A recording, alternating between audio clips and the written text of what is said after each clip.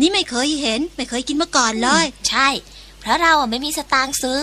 เนี่ยคงแพงมากสินะ อย่าไปสนใจเลย ว่าแพงหรือไม่แพง แบ่งกันกินนะ ถ้าไม่พอ ฉันจะไปเอามาให้อีก